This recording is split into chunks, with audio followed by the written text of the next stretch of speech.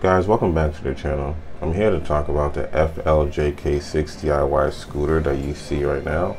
There's a lot of stuff I customized and a lot of uh, a lot of um, videos I did on YouTube, but I never really talked much about um, this scooter. So I'm here to do a, a full review, honest review about the scooter and see if this is the type of scooter you want.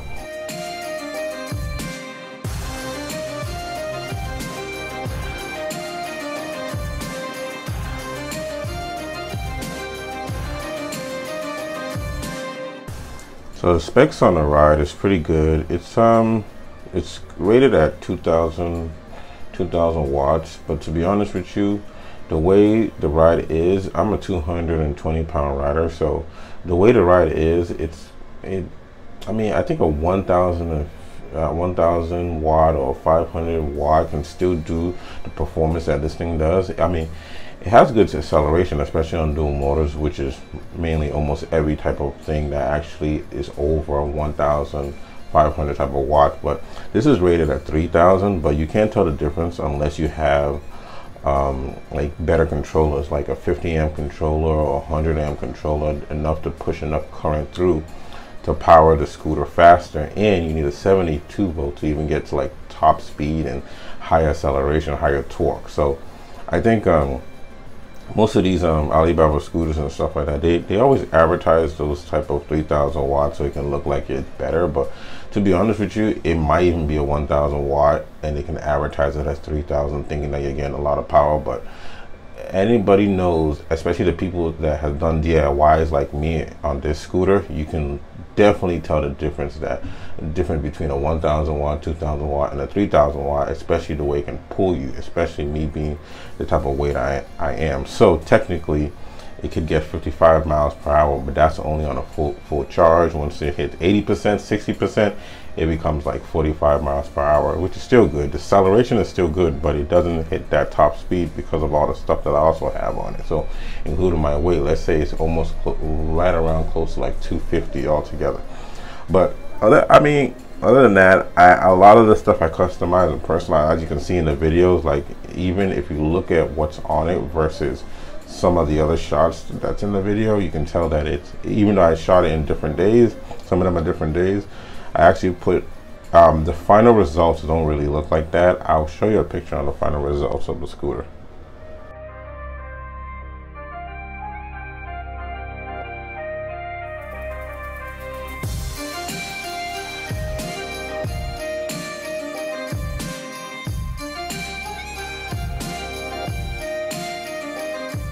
So the day that I started riding, I started riding with a friend of mine that I also sold a different type of scooter to. It's the uh, QR Q Power. It's actually really good. I think they have a QR Q Power too that comes out. It's totally different from the red look, and I think um, they could have kept the red look in their company because it would have looked really good and it would have really stood out because a lot of the scooters are usually black or white, not always customized. So I think um, that's a disadvantage they did with um, that QR scooter because I, I, actually do like QR because that was my first type that first scooter I actually customized.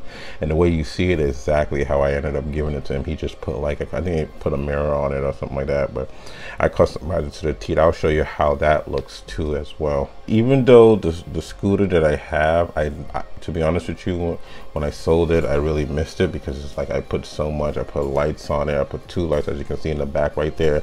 That back basket actually got removed. I didn't put that anymore. So it actually has a better, decent bag in the back. I'll show you that one too.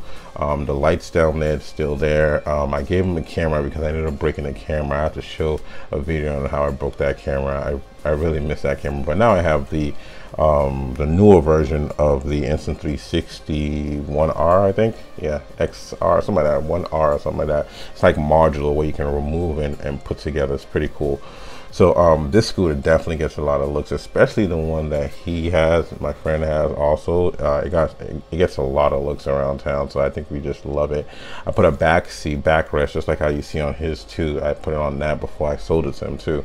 So as you can see how fast I'm going, I wish I put on the speedometer so you can see it, but definitely very fast scooter going down. Uh, I forgot where I'm at, like Andrew Station or something like that. But yeah um, the basket got removed. A lot of stuff got removed. I ended up putting more like blinkers on it. I actually put a bar at the back seat where you can it actually has two um, lights to the top. If i can remember if i can find a picture i'll show you the picture of that one too.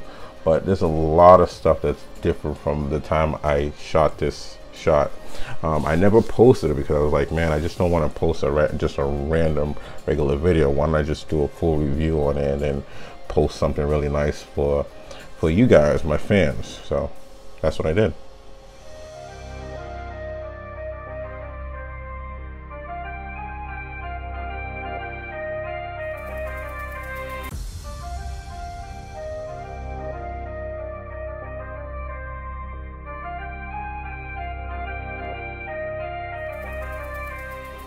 So as you can tell, or maybe you can't tell, I, the tires are actually four, uh, 13 inch by 5 by 6 tires. Really good, soaks up the bumps. The suspension is a motorcycle uh, grade suspension. You know how the motorcycle suspension is. Uh, unlike that one that you see over there on the Q Power, it's kind of like that's just springy, but it has a motorcycle, and at the back it has a really nice uh, suspension too. You can upgrade the suspension at the back. It actually holds two housing at the back, so you can actually upgrade it at the back. So yeah, definitely the scooter. If that's the type of scooter you want, I think you would like this type of scooter because it is awesome. All right, guys. Till next time, Deridion signing out. Peace.